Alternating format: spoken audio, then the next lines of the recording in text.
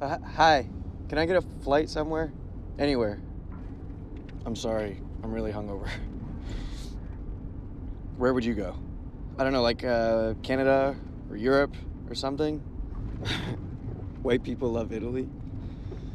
Gotcha. Book me on the next flight. Or when is the next flight?